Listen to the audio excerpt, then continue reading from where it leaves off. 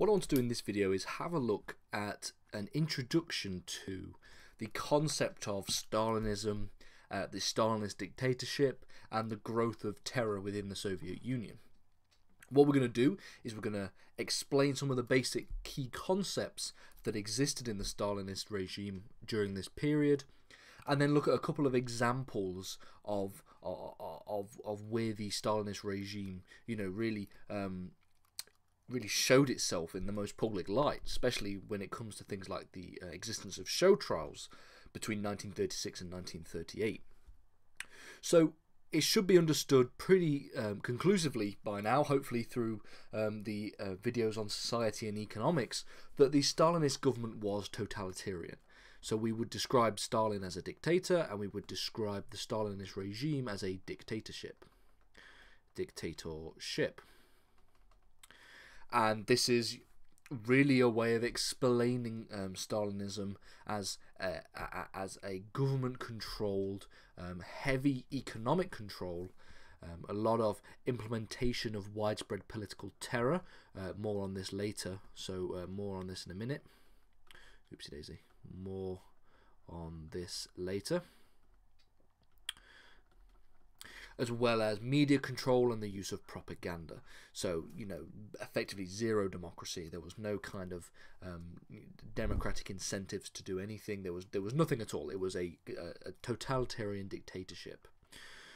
And we can see how this um, operated by looking at first the concept of state terror, uh, then the role of the NKVD, the police, um, secret police, the uh, socialist secret police, and then we'll look at a couple of key examples.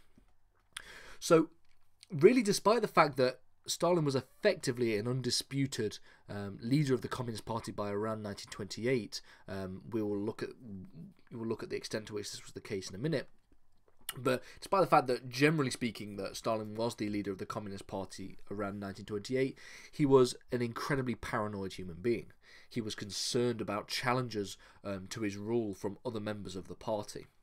And so, as a result, Stalin launched a series of terror campaigns, and this was emphasized through the use of arrests, the use of torture, and the use of mass imprisonment. All of these things contributed to these mass terror campaigns. Between uh, 1935 and 1938, we see the, um, the, the, the peak of these terror campaigns, and we will talk about them in a later lesson. Effectively, the terrors in the Stalinist regime were responsible for the, around the the deaths of around 10 million people. Of course, the estimates vary, just like with any um, kind of uh, mass killings, any kind of genocide, any kind of crime against humanity. Um, the the number of deaths is always going to be disputed, but around 10 million people um, Stalin was responsible for the death of. And Stalin implemented um, this mass terror using the NKVD. The NKVD was the secret police Okay, and effectively, what the NKVD NKVD did was enforce purges both within the Communist Party itself, so um, both internally, internally, but also externally through wider Soviet society. So also externally.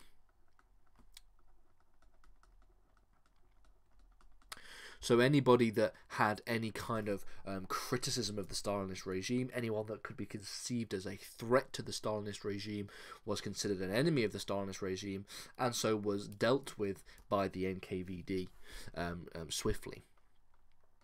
And we can see this uh, with a very good example um, looking at Sergei Kirov. So Kirov presented um, what would be described as a major threat to the Stalin's regime um, in, in, terms of um, within the internal party democracy of the communist um, of the Communist Party. In 1932, for example, um, it was shown uh, Kirov uh, showed his criticism of um, Stalin by um, defending somebody called uh, Ryutin, who himself published a document which was highly critical of Stalin and general, uh, generally the Stalin policies. So generally Stalin's policies. Stalinist policies. And further criticism of Stalinist policies came in 1933 from Kirov, where him and a number of moderates um, began to argue for more realistic targets in the second five year plan.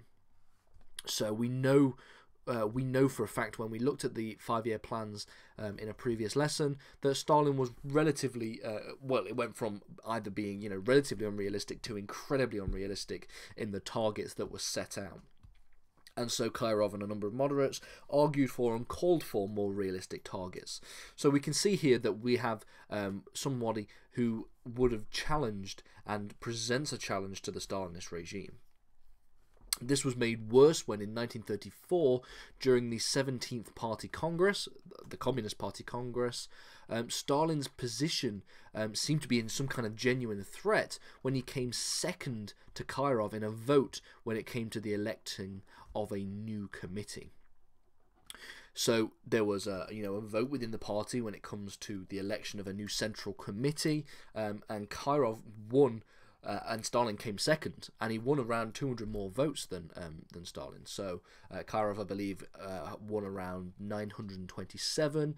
Sorry, uh, Kirov won around 1,000, um, uh, 1,200 ish, and then um, Stalin won around 927. So Kirov came first, and as a result, on the 1st of December 1934, Kirov was shot and this uh, solidified Stalin's authority once again in the party. Now, obviously, Stalin would have denied this, um, initially denied this anyway, um, because there was, um, you know, suspicion obviously on Stalin because um, Kirov presented probably the most major threat to Stalin's um, position as leader of the Communist Party and he was shot, um, you know, the same year as the 17th Party Congress, where Kirov presented a genuine threat to Stalin's regime. Another example of the terror um, being shown uh, in a public light, in a very public light, was the um, show trials. There are three show trials that took place between 1936 and 1938. Now, when we say show trials, this is because um, the the concept of a trial implies some kind of justice, uh, you know, some kind of fairness and, and equity or, uh, and, and, justice. Um, there was no justice here, so no justice. That's why we use the concept of a show trial. It's a trial to to to show off and uh, give a perception of some kind of um, fairness and justice, when in reality there was none.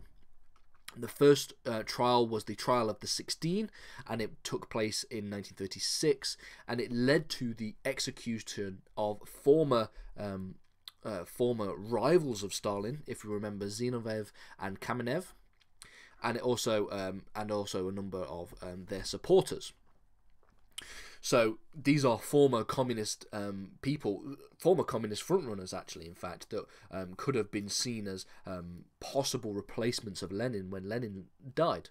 So if you uh, need any um, kind of refresher on that, we have a lesson on that um, about the struggle for power within the Communist Party following the death of Lenin, and these two um, definitely were in the running, or at least you know in and around the background.